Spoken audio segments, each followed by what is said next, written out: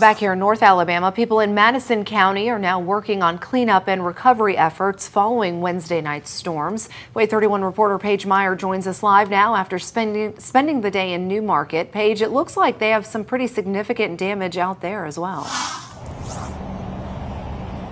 can see behind me, this is a tree, or what's left of it rather, that was completely uprooted and landed directly on this home here in New Market.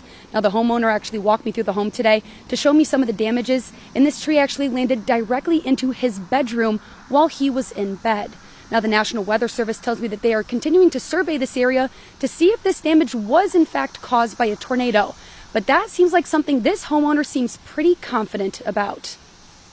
I'd never heard nothing like that in New Market before. I knew it had to be a tornado. Wednesday night storms felt by many across the Tennessee Valley. Wayne Franks of New Market saw extensive damage to his home. Water was coming out here like a, a Niagara Falls, so all we could see was the tree down through the house.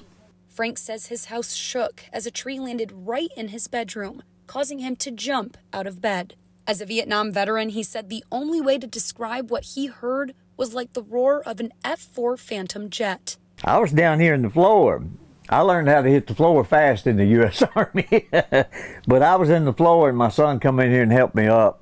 Frank estimates about $200,000 in damage to the home he built in 1998. But what he can't put a price on are the damaged photos and memories connected to his home. That's where all the year memories is at, is in pictures and stuff like that we don't know how much of that is ruined, you know. It's just, we're just now getting to the uh, hard part. Franks doesn't know if the house is a total loss yet, but at the end of the day, Franks says a house is just a house. As long as nobody lost their life or was hurt, that's the main thing.